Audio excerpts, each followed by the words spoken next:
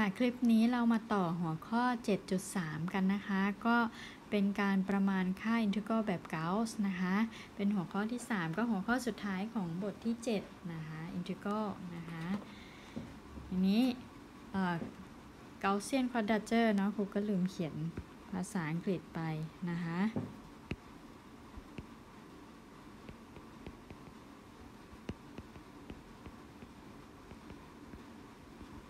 อ่า เกาส์มาอีกแล้วนะคะคุณเกาส์คิดหลายอย่างเลยนี้ Gaussian quadrature ทำอะไรนะคะก็การประมาณค่าอินทิกรัลนะคะที่ผ่านมานะคะเป็นการประมาณค่าโดยใช้จุดแบ่งช่วงหรือจุดย่อยที่มีระยะห่างเท่าๆกันนะคะเราเราแบ่งด้วยระยะห่างที่ห่าง h ใช่ไหม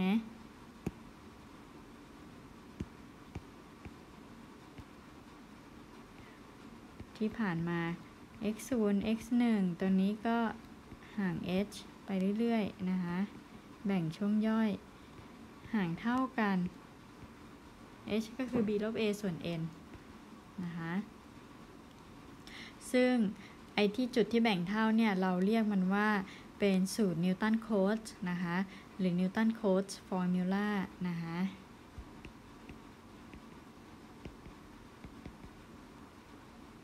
เนาะ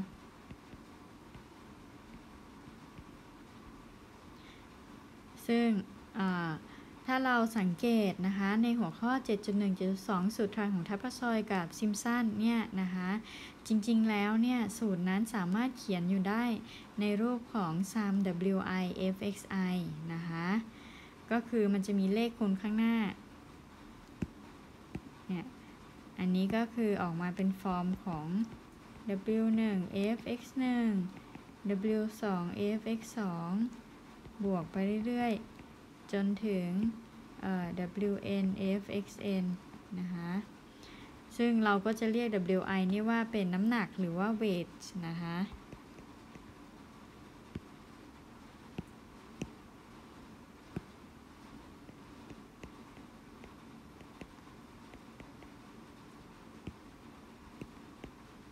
แล้วก็เรียก xi ว่าเป็น node นะคะ โอเค ทีนี้สังเกตดีๆ มันอยู่ฟอร์มนี้อ่าไม่เชื่อลองไปดูนะคะ trapezoid สูตรอยู่ไหน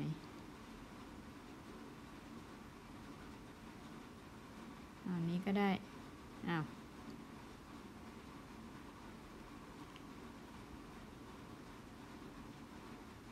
ทำไมมันไม่ไปอันนั้นให้ครู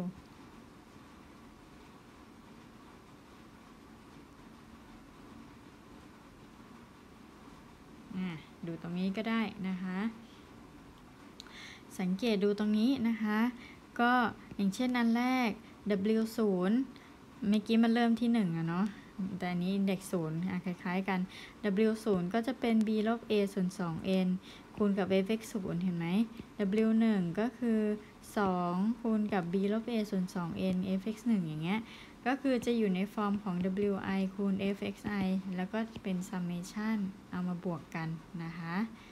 เห็นป่าอันนี้ก็คือ trapezoidal rule trapezoid ของสี่เหลี่ยมคางหมูนะคะซิมสันก็เหมือนกันนะคะ กลับไปดูของซิมสัน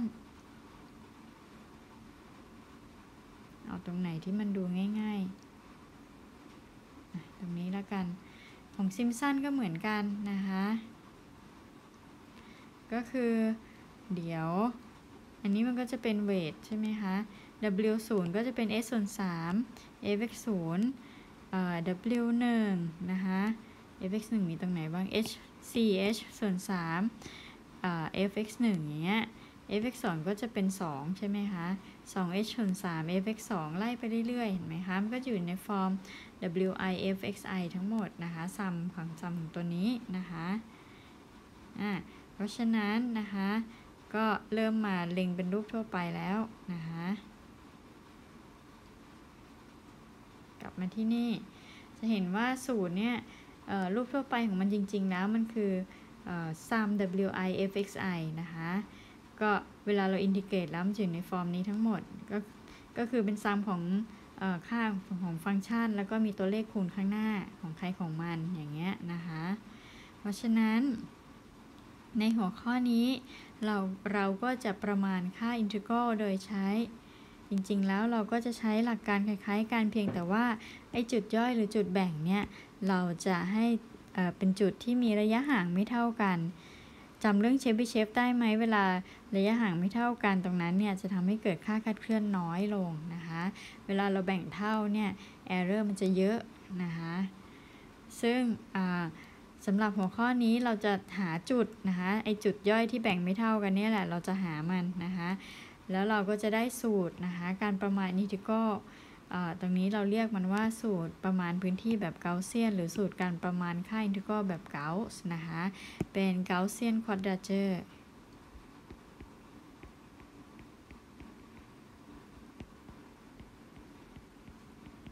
ควอดราเจอร์ก็คือการประมาณพื้นที่นะคะาเซียนควอดเจอร์นะคะซึ่งสำหรับวิธีนี้เราก็จะต้องเลือกโหนดแล้วก็น้ำหนักนะคะที่ทำให้ค่าประมาณ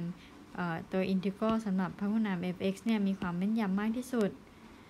โดยให้ f(x) เนี่ยมีกำลังสูงสุดที่เป็นไปได้นะคะก็คือแม่นยำมากที่สุดสำหรับพหุนามกำลังสูงสูงอันนี้ก็จะเป็นไอเดียนะคะ ถ้าเกิดว่าเราแบ่งช่วงเดียวเลย จาก x 1ถึง x 2อย่างนี้ ตอนนี้ index เราจะเริ่มที่ 1 แล้วนะ ถ้าทำเกาเซียนนะคะเพราะว่าเริ่มที่ 0 มันจะงง ก็แบ่งเวลาแบ่งเราจะเริ่มที่ x 1นะคะเกาเซียนระวังให้ดีนะ index จะไม่เหมือนข้างหน้านะคะมันจะไม่เหมือนจุด7.1 7.2 เนาะอันนี้ถ้าใช้สี่เหลี่ยมข้างหมูมี 2 จุดหน้าตาแบบนี้เส้นโค้งแบบนี้มันก็จะตัดเป็นแบบนี้นะคะ ก็จะมี error พื้นที่สีขาวตรงนี้ก็จะเป็น error หรือถ้าเกิดมันเป็นโค้งนอนอย่างนี้ ถ้าใช้คางหมูมาก็จะมีพื้นที่เกินขึ้นมาใช่ไหมคะหรือถ้ามันเป็นโค้งแบบนี้นะคะ สี่เหลี่ยมคางหมูประมาณนะคะ มันก็จะมีพื้นที่เป็น error อยู่ ทีนี้ถ้าทำ Gaussian quadrature เวลาเราจะหา x 1 x 2เนี่ย มันก็จะไม่ใช่จุดที่ขอบ มันก็จะอยู่ข้างใน ก็จะเป็นจุดเฉลี่ยที่ทำให้นะคะ ตัวนี้นะคะ เหลือพื้นที่น้อยที่สุดที่เป็นไปได้ป่ะตัวนี้ค่าก็จะใกล้เคียงมากขึ้นนะคะถ้าเกิดว่าเราใช้จุดข้างในแบบนี้นะคะทีนี้เพื่อเป็นการง่ายนะคะในทานทำเกาเซียน เราก็จะพิจารณาอินทิกรัลบนช่วงลบ1ถึง1ก่อน แล้วเราก็ขยายไปช่วง AB ใช้การแปลงเชิงเส้นเเหมือนเชฟวิเชฟเลยนะคะ เหมือนหัวข้อ 4.4 นะคะ การแปลงเชิงเส้นอันเดียวกันนะคะมันมีอยู่อันเดียวแหละแปลงเชิงเส้นอะแปลงจากลบหนึ่งหนึ่งไปหา AB เพราะฉะนั้นเดี๋ยวเราจะต้องหา x ก่อนนะคะแล้วก็หาเวทคู่กันนะคะสิ่งที่เราต้องการก็คือต้องการให้อินทิกรัลมัน exact นะคะก็คือมันจะไม่ใช่ประมาณแล้ว error ก็จะไม่มีแล้วตรงนี้นะคะอยากให้มันเท่าเลยถ้าเราใส่พหุนามเข้าไปนะคะก็อินทิกรัลลบหนึ่งถึงหนึ่ง f(x) dx อยากให้มันเท่าเลย เท่ากับ sum wi fxi เลยนะคะ ไม่อยากให้เกิดค่าคาดเคลื่อน ก็โดยที่ px เนี่ยเป็นพหุนามกำลังสูงสุดที่เป็นไปได้นะคะนี้สังเกตว่าการประมาณนี้มีสัมประสิทธิ์ไม่ทราบค่า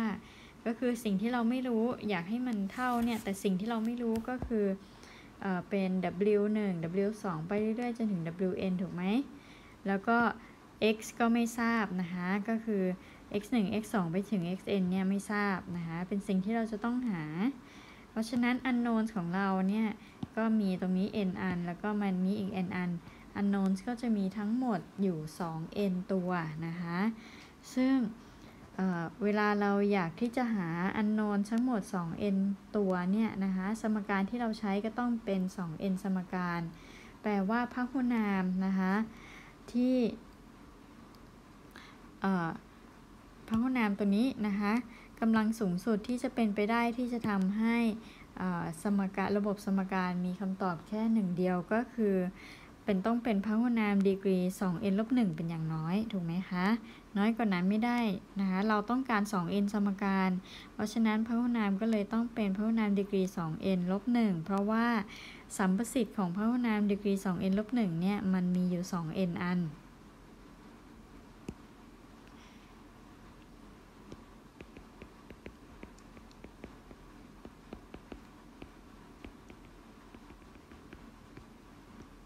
เนี่ยสัมประสิทธิ์ก็จะเป็น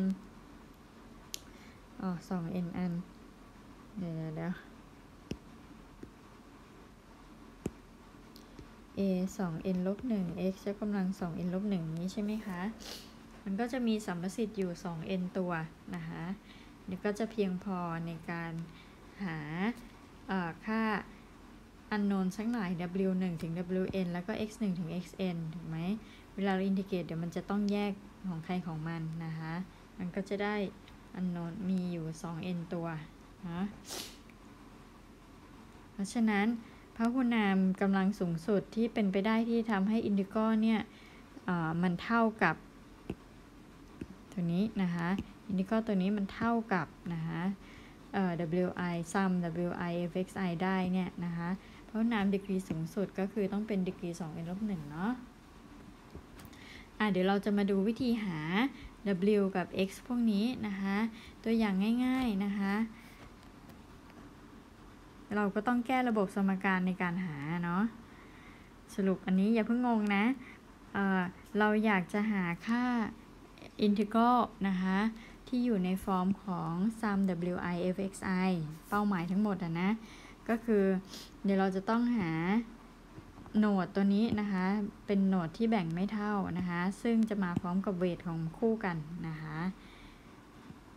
แต่ละโหนดก็จะมีเวทคู่กับมันนะคะ ซึ่งวิธีการหาเนี่ยเดี๋ยวเราจะต้องอแก้สมการ แก้ระบบสมการหาเอานะคะ ก็ใช้หลักการนะคะอ่าเดี๋ยวเรามาดูกรณีที่ n เท่ากับ 2 อย่างนี้นะคะ เริ่มที่อันง่ายๆก่อน n เท่ากับ 2 เราอยากให้อินทิกรัลลบ1ถึง1 f(x) dx เนี่ยมันเท่าเลยนะคะเท่ากับ w 1 f(x) 1บวก w 2 f(x) 2ถูกไหมกรณี n เท่ากับ2นะคะก็จะมีอยู่ 2 เทอมนะคะทีนี้ unknown ของเราตัวไม่ทราบค่าเนี่ยสิ่งที่เราจะต้องหาก็คือ w 1 w 2 x 1 x 2ก็จะมี unknown อยู่ 4 ตัวนะคะ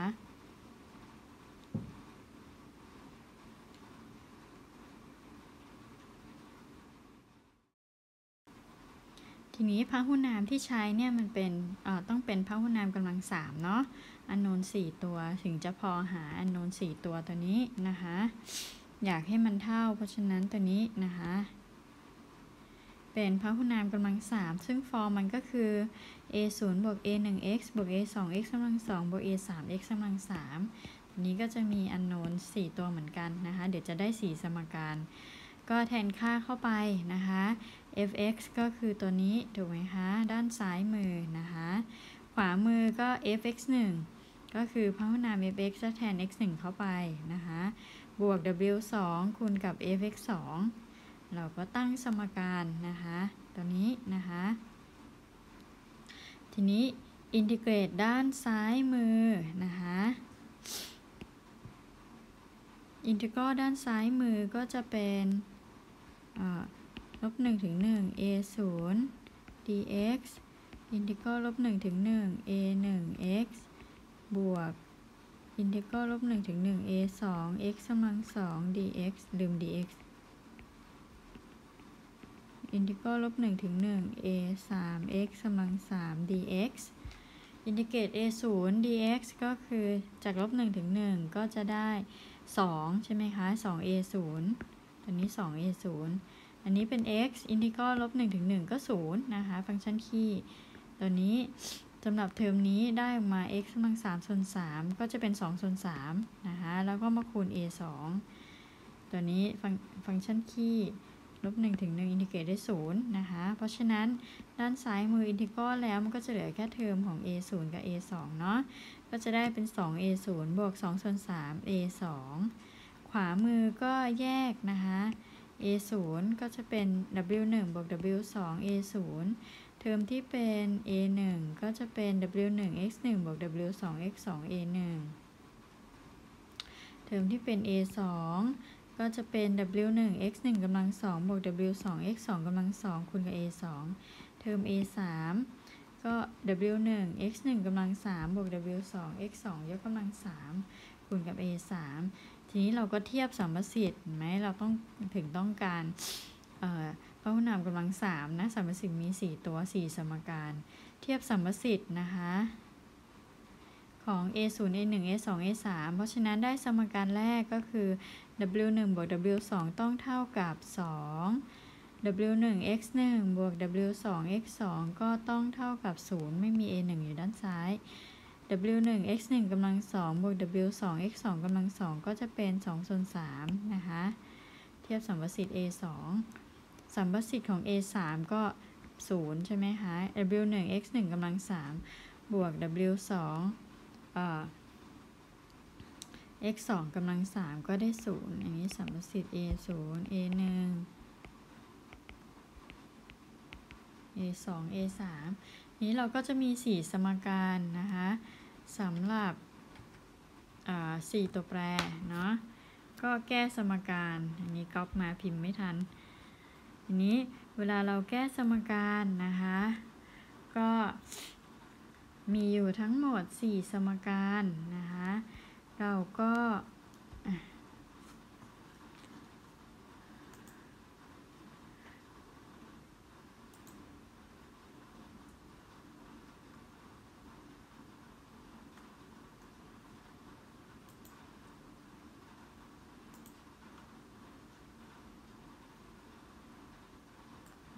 ใช้สมการอะไรบ้าง มาหาดูสิเปิดก่อน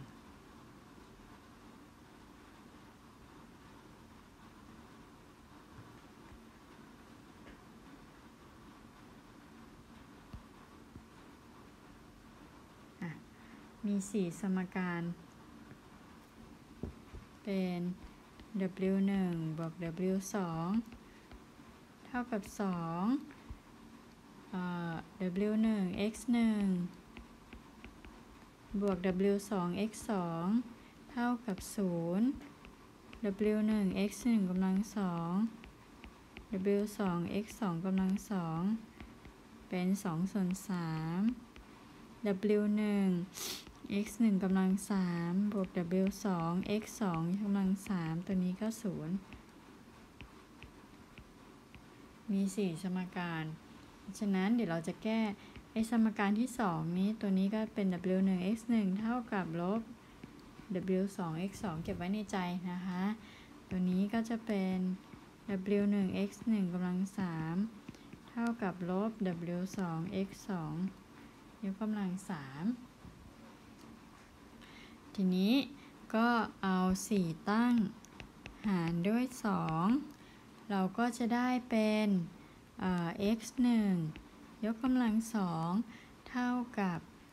x 2กำลังสองเลยได้มาว่า x 1เท่ากับ x 2หรือ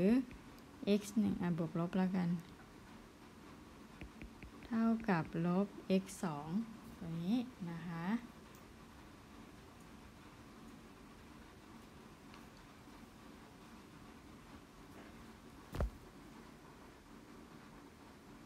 อะเดี๋ยวมาดูออปชันที่เป็นไปได้นะคะจากนั้นนะคะก็อันนี้เป็นสมการที่ 5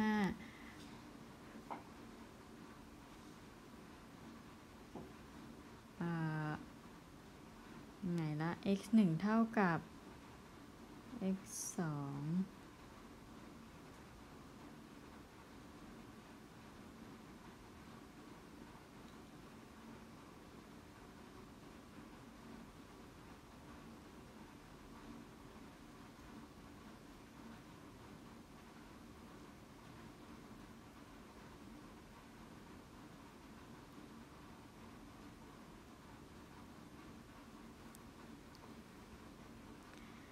จากนั้นเราจะใช้สมการที่ 2 นะคะ แทน x 1 เท่ากับ x 2เดี๋ยวนะมี2ออปชัน x ถ้า x 1 เท่ากับ x 2เอาเวทติดลบไม่ได้นี่ อะ เพราะฉะนั้นเดี๋ยวเราจะตัด choice ไป x 1 เท่ากับ x 2แล้วมันจะได้ถ้าถ้าเกิดว่าเป็น choice นี้เนี่ย แทนเข้าไปใน 2 แล้วเวทจะติดลบนะคะ เพราะฉะนั้นเลยต้องใช้ choice นี้นะคะเวทติดลบไม่ได้เนาะน้ำหนักมันติดลบข้างหน้าเวทเดี๋ยวลองดูก่อน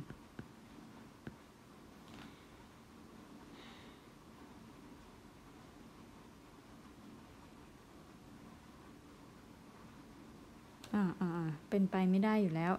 ครูก็เมาเอง x 1เท่ากับ x 2ไม่ไม่เอา choice นี้โหนดมันเท่าไม่ได้นะคะ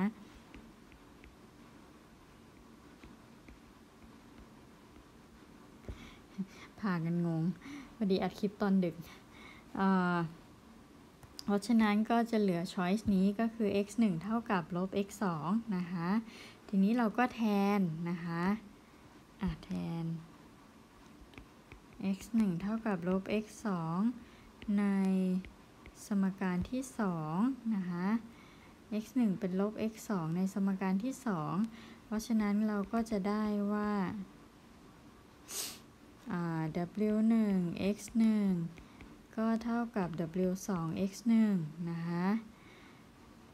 ใช่ไหมคะ ก็เลยได้ว่า w 1เนี่ย ก็คือ x 1เท่ากับ 0 หรือว่า ก็จะได้แทนเข้าไปใน2ก็ได้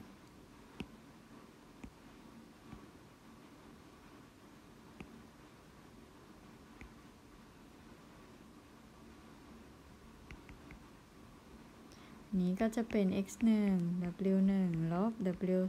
2เท่ากับ 0 ก็จะได้ว่า x 1เท่ากับ 0 หรือ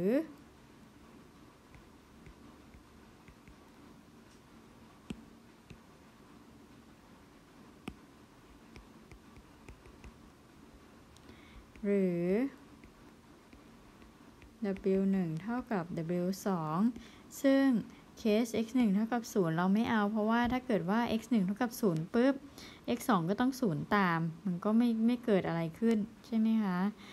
มันจะเป็นโหนดซ้ำที่เดิมซึ่งมันใช้ไม่ได้นะคะ เพราะฉะนั้นจะต้องเป็นเคสที่ w 1จะต้องเท่ากับ w 2นะคะ อ่า ทีนี้ w 1เท่ากับ w 2แล้วเนี่ยนะคะ ก็กลับไปแทนในสมการที่1นะคะ เพราะฉะนั้นจากสมการที่ 1 ก็จะได้ว่า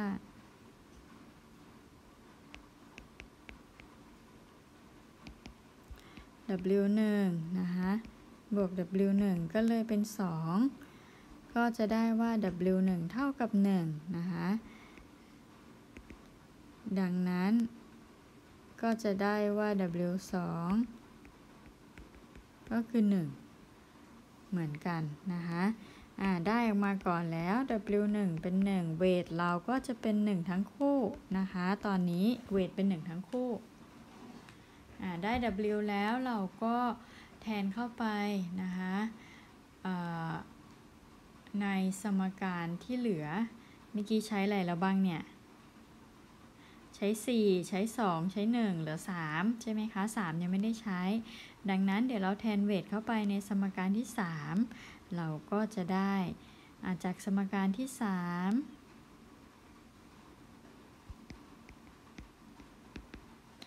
เราก็จะได้ว่าตัวนี้สมการที่ 3 มันเป็นกำลังสองเนาะ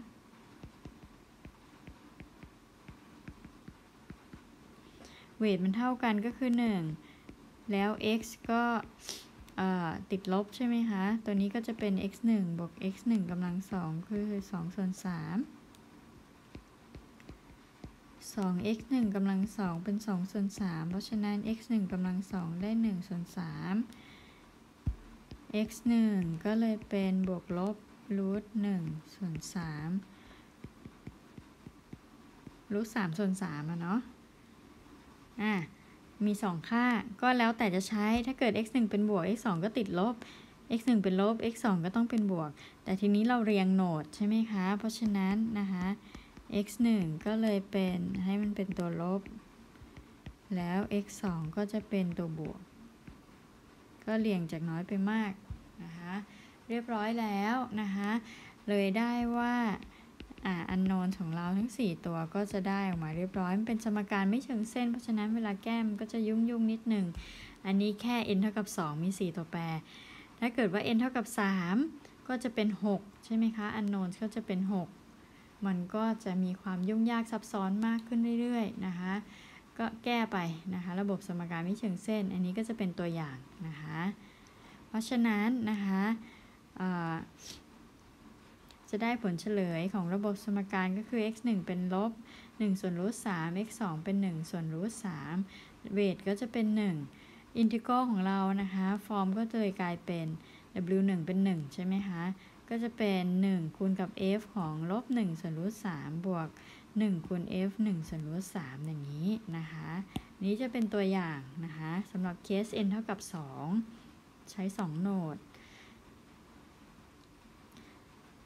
เรียบร้อย n เท่ากับ 3 ก็ไปแก้สมการทำไปเรื่อยๆนะคะทีนี้ครูก็มีค่านี่ n เท่ากับ 2 อันนี้ 1 ส่วนรูท3จริงๆแล้วเนี่ย เวลาหาถ้าเรียนขั้นสูงขึ้นไปเนี่ย x ตัวนี้ก็จะเป็นรากของสมการเลอจอง ถ้าเรียน special function มานะคะอันนี้ก็จะเป็นรากของพหุนามเลอจองนะคะวิธีหาง่ายๆ ก็ไม่ต้องไปตั้งระบบสมการหาอย่างนั้นนะคะเวทก็จะมีสูตรของเขา derive เรียบร้อยนะคะอ่าอันนี้สำหรับในขั้นนี้เวลาจะใช้ก็มาเอาในค่าในตารางนี้ได้นะคะ n เท่ากับ2 n เท่ากับ 3 ก็ใช้ตัวนี้นะคะ n เท่ากับ 3 ก็ 3 อันโน้นก็จะมีศูนย์อยู่ตัวหนึ่ง เวลามันกระจายมันก็อยู่ตรงกลางแล้วก็ไปสองข้างนะคะ ถ้าลงเลขคี่มันต้องมีศูนย์อยู่นะคะ ต้องเอาตัวตรงกลางหนุหนึ่งอัน สี่ก็สี่ตัวตรงนี้ห้าหกเจ็ดแปดมีถึงแค่แปดเนาะแค่นี้ก็เยอะแล้วแก้แปดนี่คือสิบหกตัวสิบหกสมการ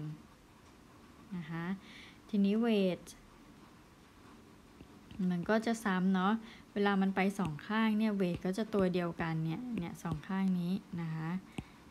x ตัวสุดท้าย x แรก x ท้ายก็จะเวทตัวเดียวกันนะคะมันเป็นน้ำหนักที่เฉลี่ยไปเท่ากัน โอเค ทีนี้สำหรับช่วงที่มันอยู่บนช่วง AB นะคะที่ไม่ใช่ลบ1ถึง1เราสามารถขยายไป ตอนแรกต้องหาบนลบ1 1 ก่อนนะคะ จากนั้นค่อยขยายไปบนช่วง AB ใช้การแปลงเชิงเส้น สมมุติว่าให้ xi เนี่ยอยู่ในช่วงลบ1 1 แล้วก็ ti อยู่ในช่วง AB นะคะ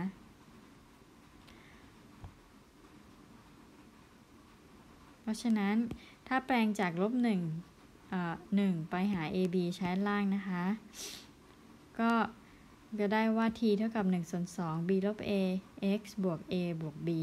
ก็คือหาโนดในช่วงลบ1ถึง 1 ก่อน แล้วก็มาแทนตรงนี้นะคะ เดี๋ยวมันก็จะขยายไปบนช่วง ab เองนะคะ ส่วนเวทที่คู่กันนะคะ ก็ตอนนี้อินทิกรเราก็จะเป็นอินทิกร ft dt นะคะ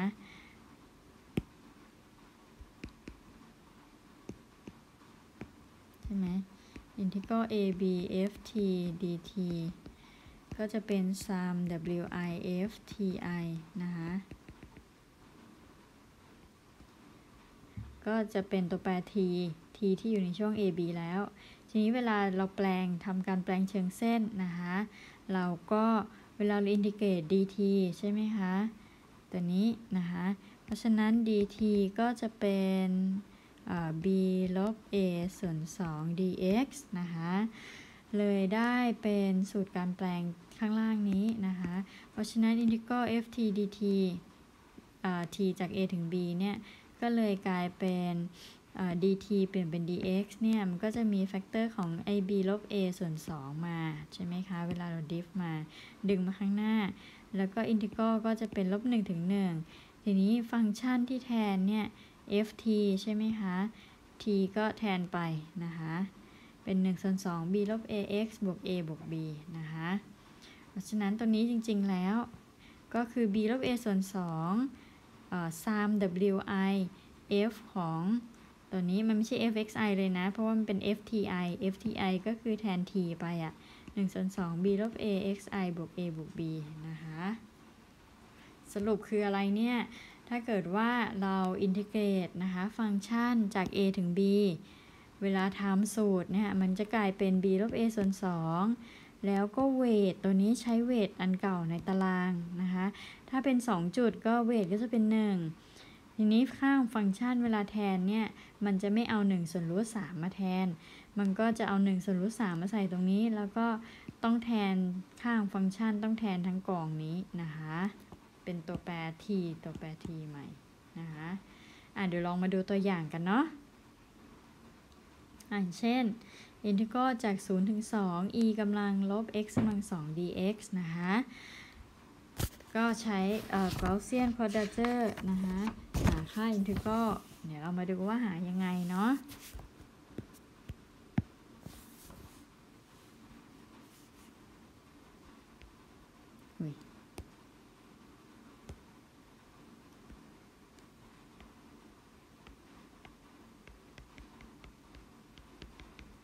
ก็ตัวนี้ก็คือ b ลบ a ส่วน2นะคะแล้วก็อินทิเกรตลบ1ถึง1อ่าจริงๆแล้วมันคือตัวนี้ f เอ่อ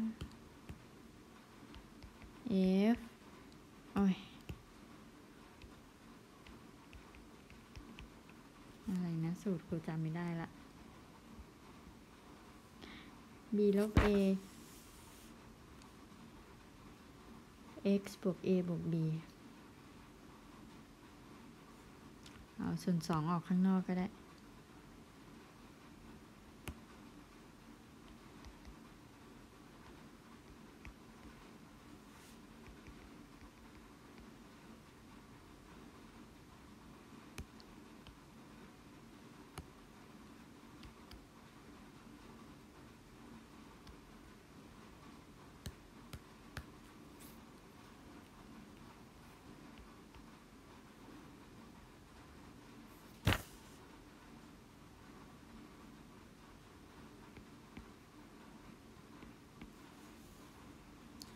ฉะนั้นเดี๋ยวเราจะต้องแทนตัวนี้นะคะ สิ่งที่เราจะต้องทำก็คือ 1 ต้องแปลงช่วงอ่านง่ายๆทำง่ายๆดีกว่า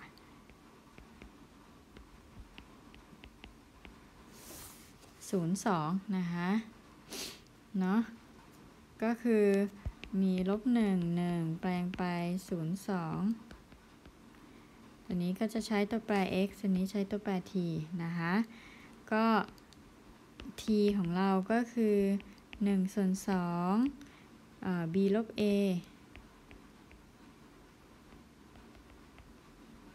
ก็คือ2ลบ0ใช่ไหมคะอ่า x บวกกับ 0 บวกกับ 2 เพราะฉะนั้น t ของเราก็คือ1ส่วน2 2x บวก 2 x บวก 1 นะคะตัวนี้อินทิกรัล0ถึง2ของ e ยกกำลังลบ x กำลัง 2 dx ก็จะเป็น b ลบ a ก็คือ 2 ลบ 0 ส่วน 2 อินทิกรัลลบ 1 ถึง 1 จริงแล้ว f ของ x บวก 1 dx ตัวนี้นะคะ ประมาณแบบเกาส์ 2ลบ2ก็ได้ 1 เนาะ ตัวนี้ก็จะเป็นซัมของ wi f ของ xi บวก 1 แบบนี้แทนนะคะ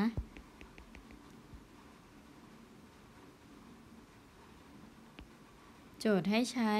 3 จุดนะคะ เพราะฉะนั้นตัวนี้ก็ใส่เป็น 3 เนาะทีนี้จากตารางนะคะ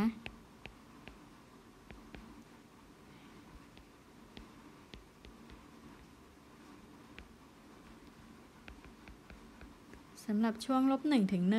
นะคะเอ่อ x ของเรานะคะ x x 1 index มันเริ่ม 1 x 1 ก็จะเป็นลบ0.77 4 5 9 6 6 7 เนาะ x 2 เป็น 0 ใช่ไหมคะ x 3 ก็จะเป็น 0.77 4 5 9 6 6 7 แบบนี้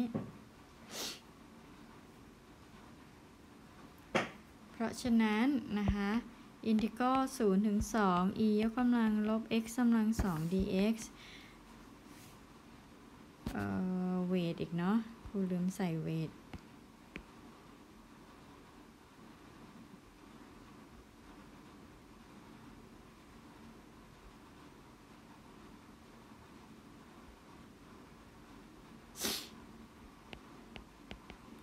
w 1อันนี้อ่านค่ามาจากตารางตรงนี้นะคะ เอา n เท่ากับ 3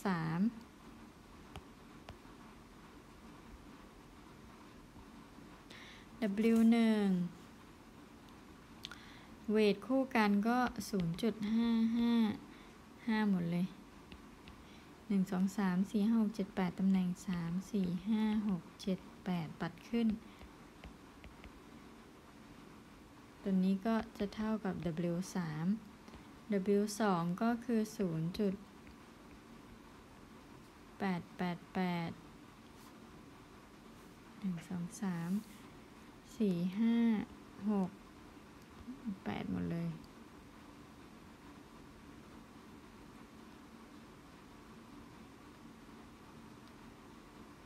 เจ็ดแปด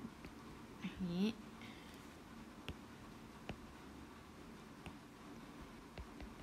หนึ่งกับสามต้องเท่ากันมันเฉลี่ยไปข้างสองข้างเท่าเท่าๆกันเรียบร้อยก็แทนค่านะคะ เพราะฉะนั้นตรงนี้ก็คือ w 1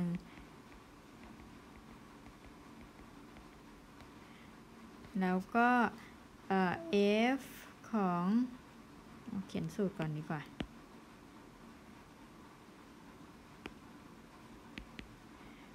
w 1 f ของ x 1บวก1 w 2 f ของ x 2บวก1 w 3 f x 3บวก1ฉะนั้นตัวนี้ก็เลยกลายเป็นขึ้นหน้าใหม่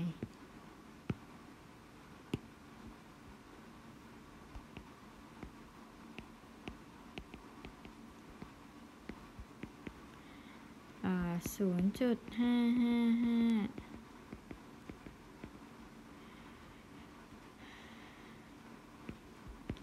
f ของ x 1บวก1ก็ e ยกกำลัง โอ้ย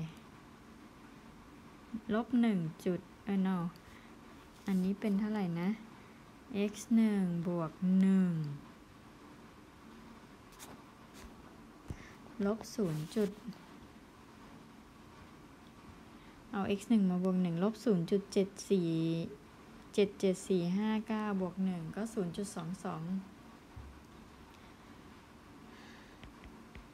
หูย่อได้ไหมเนี่ย 77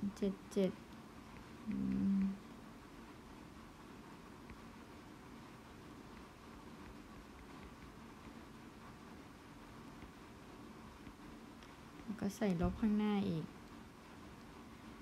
บวก w 2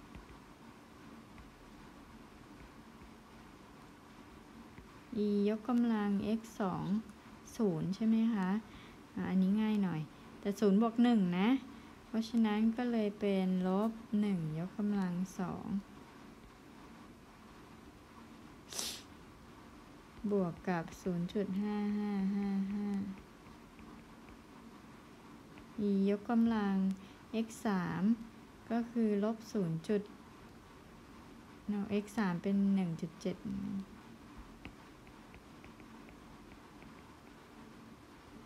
x 3เป็น 0.77 บวก 1 ก็จะเป็น 1.77459